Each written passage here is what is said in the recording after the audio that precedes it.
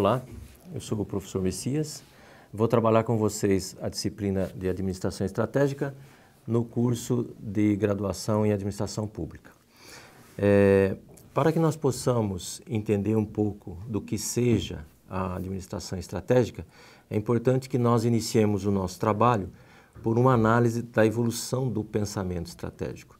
Estratégia existe desde que o mundo é mundo, mas como ferramenta gerencial, como ferramenta de apoio para as ações de uma organização, ela existe desde o século XIX, século XX, por aí. É, na evolução do pensamento estratégico, duas correntes se destacam. A corrente que é, analisa os eventos acontecidos ao longo dos anos e a escolas do pensamento estratégico que foram formuladas por Mintzberg. Nessa primeira fase que é dos acontecimentos, Betlin vê quatro fases. É, Inicia-se desde o planejamento financeiro básico da organização, ou seja, a organização pensada a partir dos recursos que ela dispõe, do orçamento que ela dispõe, até a aplicação específica da administração estratégica pensando o futuro da organização. Já Mintzberg pensa que é, as várias fases da Revolução Industrial, ela inicia um processo de evolução do pensamento, passando pelas diversas revoluções industriais, nos anos, depois nos anos 30 do século 20, até os anos 90 do século 20, com diversas transformações, criações, e chegando até o, a fase atual do século 20, em que a estratégia, o planejamento estratégico é colocado, digamos assim, no dia a dia das organizações. Mintzberg cria várias escolas do pensamento estratégico para definir momentos e ele cria escolas do design, planejamento, posicionamento, a escola empreendedora, a cognitiva e etc. Para cada uma dessas escolas, Mintzberg relaciona a um animal.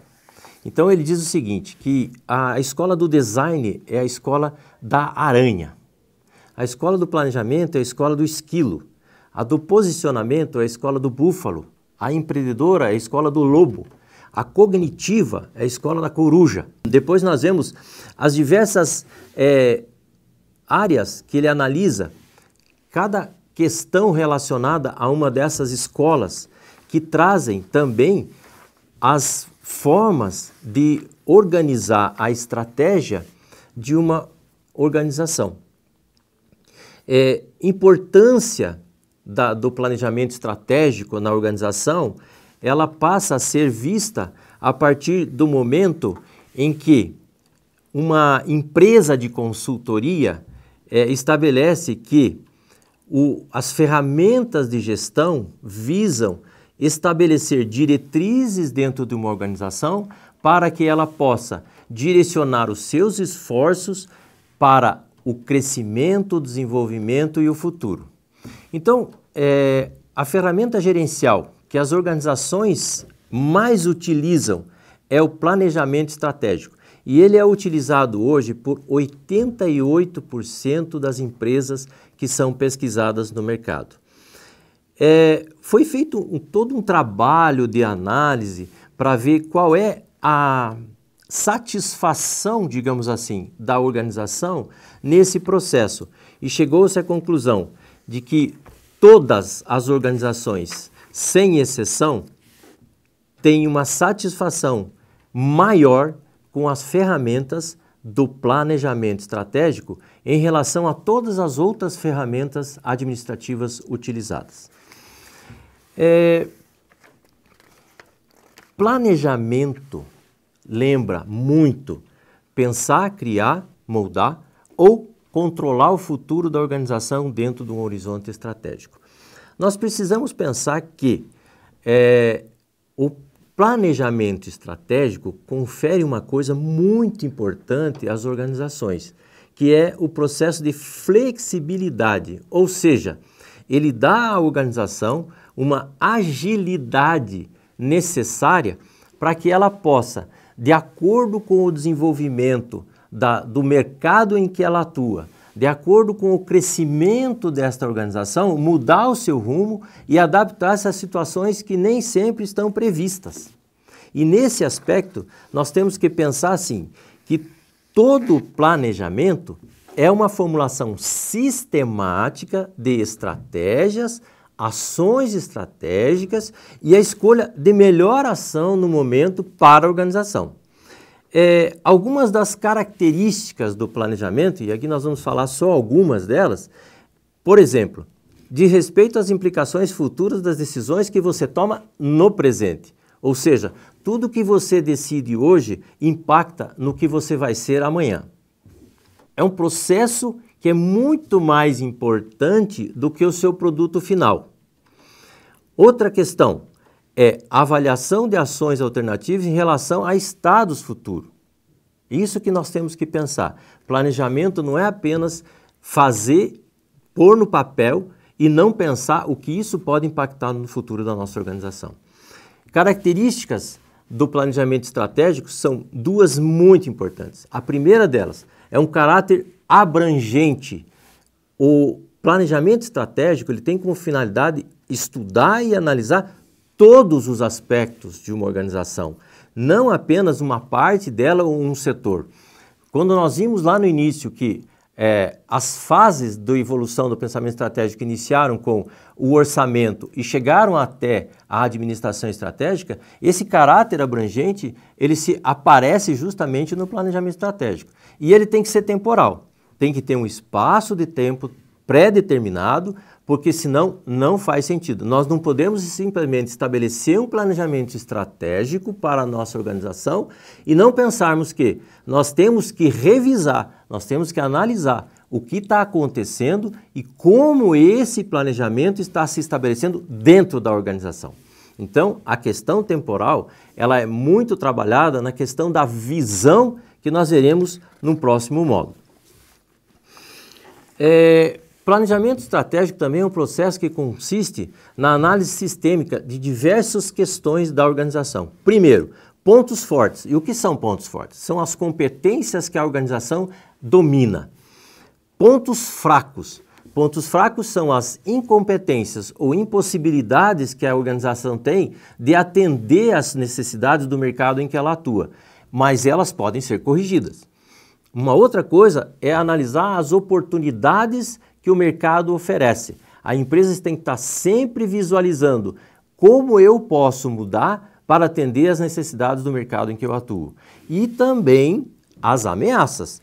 Novas organizações surgem, novas empresas mudam a sua maneira de atuar e as organizações precisam estar sempre com essa visão clara do onde elas pretendem chegar. É, os objetivos do planejamento estratégico são é, importantíssimos de serem elencados. Primeiro deles, e o mais importante na minha opinião, é que o planejamento estratégico leva a organização a atingir a sua resolutividade. Ou seja, a partir do planejamento estratégico, uma organização pode obter melhores resultados nas suas ações. Diminuir os riscos de tomar uma decisão errada. Porque quando você planeja, você elenca todas as possibilidades de você tanto atingir os seus objetivos quanto você errar. E fortalecer os pontos fortes e eliminar os pontos fracos da organização. E ao realizar um planejamento estratégico, são várias e diversas vantagens que você obtém. Primeiro delas, possibilita o comportamento sinérgico das áreas funcionais da organização. Muitas vezes nós observamos que organizações trabalham com setorizadas e isso prejudica o desenvolvimento e o caminhar de uma organização ao longo do tempo. O planejamento estratégico visa justamente criar uma sinergia entre todas as áreas da organização, visando um único objetivo. Segundo, coordena a execução do planejamento tático da organização permite a integração de todas as funções da organizações em um plano único. Essas são vantagens do planejamento estratégico. Algumas delas fornecem uma base para o esclarecimento de responsabilidades individuais dentro da, da, organização e contribui para a motivação dos membros da organização. Nós não podemos esquecer nunca, uma organização só existe em função de pessoas. Se essas pessoas não estiverem motivadas e não estiverem totalmente sinérgicas nas suas ações, de nada adianta desenvolver planejamento organizacional. Permite que os gestores tenham uma visão clara do negócio em que eles estão atuando e minimiza os efeitos indesejáveis dos elementos externos. Logicamente, planejamento estratégico não é o supra-sumo e não é a Bíblia que vai dizer assim, tudo vai se resolver. Planejamento estratégico também tem suas limitações. Uma delas que é muito importante ser observada quando se desenvolve um planejamento estratégico numa organização, são as, as resistências internas que a gente vê nas organizações. Pessoas que não contribuem, pessoas que são negativas. Essas pessoas inviabilizam muitas vezes um bom planejamento estratégico. Segundo, capacitação gerencial. Todas as pessoas numa organização têm que estar preparadas, tanto preparadas profissionalmente, preparadas tecnicamente como psicologicamente para o desenvolvimento de um planejamento estratégico. Planejamento estratégico é um desafio. E existem algumas limitações para você conduzir esse processo de planejamento estratégico dentro de uma organização. Primeiro, top-down. Top-down seria as, todas as definições as metas estabelecidas, as diretrizes estabelecidas no planejamento estratégico vêm da cúpula da organização. É o famoso goela abaixo. A bottom-up é aquela que nasce da base da organização, as orientações, as ideias para o planejamento estratégico. Ela também pode, num momento, ter é, dificuldades pelo fato de que haverá pessoas que terão interesses pessoais e que darão ideias e tentarão forçar a aprovação dessas ideias. Isso pode, num segundo momento, prejudicar a, a organização. Então, a importância disso seria um evento misto, em que há uma união de toda a organização, de toda a cúpula da organização e a base da organização. É mais dispendioso, leva mais tempo, mas com um bom, é, uma boa direção, uma boa organização, o planejamento estratégico desenvolvido a partir de um processo misto, ele tem muito mais condições de trazer resultados efetivos para a organização.